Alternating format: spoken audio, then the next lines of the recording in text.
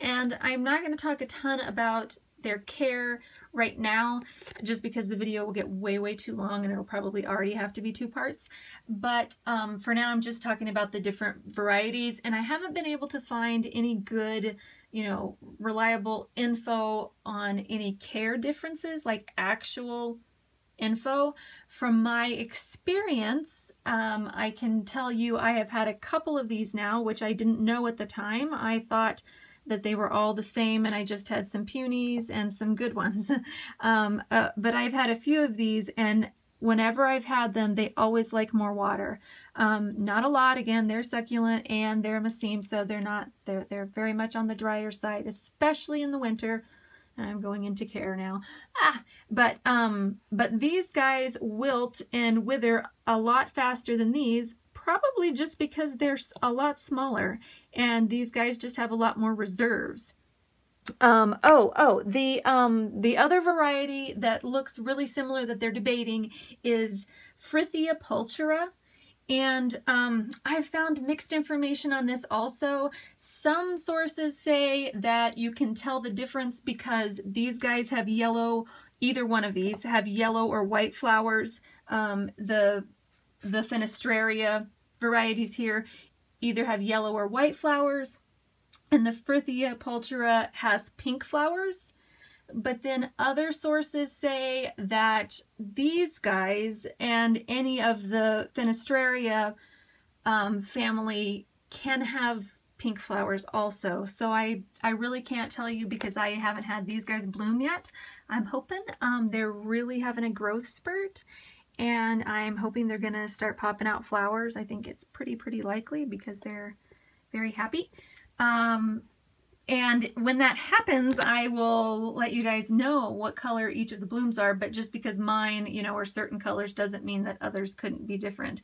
So I can't say for sure if that would be a way to tell. But the Frithia pulchra, they look really similar to these guys. In fact, I've debated if these ones are the true uh, baby toes and these ones are Frithia, but I really don't think so. These guys, as far as the photos, uh, the photos that I've been able to find, uh, these guys look like they're just um, a slightly different variety. And I am not positive yet other because there's so few photos online um, that that list specific details. You know, they'll be like, oh, it's baby toes.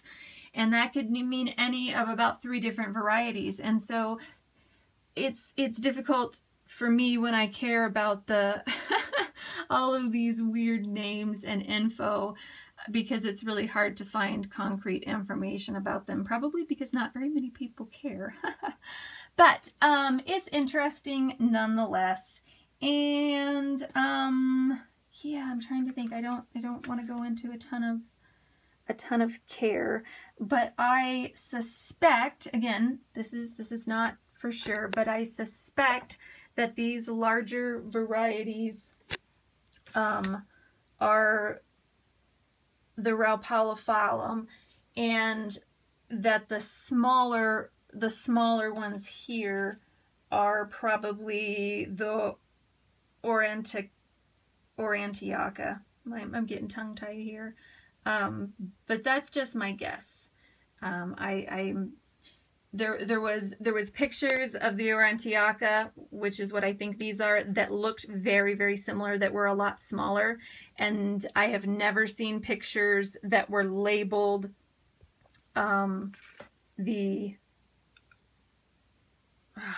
I'm sorry, you guys, my brain, I, I'm spitting these names out and now they're getting all jumbled in my head. The, the, the Rhopalophylla, um, I have never seen photos that were clearly labeled Eh, that look like this.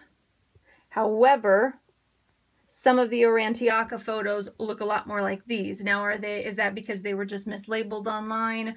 Or is that because they're that they can be either? I'm not positive. But what I can say is there are at least three varieties that look extremely similar to baby toes. And there are two, um, there's the main species and a subspecies within that family um, for sure. And so if some of your plants look kind of puny and sad and you can just never get them to be this fat happiness, it may be because they are a different variety and you may be doing nothing wrong. Um, so anyways, I hope that helps someone who is frustrated with these guys and thinking that they just can't get them to be happy. But these guys are actually very happy. They're just never going to look like their cousins here.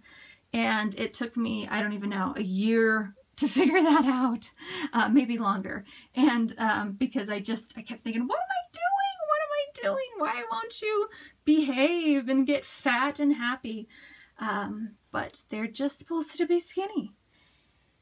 Alrighty, um, wow, 10 minutes ranting about baby toes. I, I keep saying I'm going to get more short-winded, but sorry you guys, I am just the chatty Cathy here. So I hope you guys are having a fantastic day. I will talk to you soon and happy growing.